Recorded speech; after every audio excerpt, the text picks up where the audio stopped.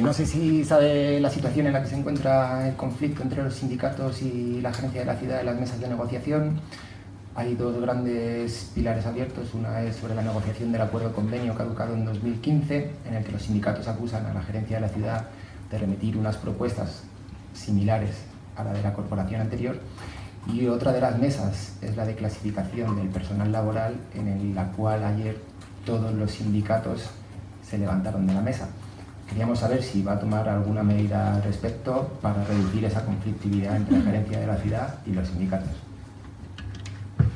Por supuesto, las medidas se han tomado desde el primer momento, tanto es así que se alcanzó un acuerdo entre todos los sindicatos y el Ayuntamiento de Madrid en noviembre del primer año que estábamos aquí, que fue histórico, porque no se producía un acuerdo de la mesa sindical y del Ayuntamiento desde hacía muchos años. ¿no? Los años anteriores habían estado caracterizados por un cierre eh, y una impermeabilidad del equipo de gobierno ante las reivindicaciones legítimas de trabajadores y trabajadoras. Es exactamente lo que hemos hecho, lo contrario de lo que hemos hecho en estos últimos dos años, lo cual implica que no haya desacuerdos. Para eso es una mesa de negociación, para que se la mesa distintas posturas y se llegue a un acuerdo.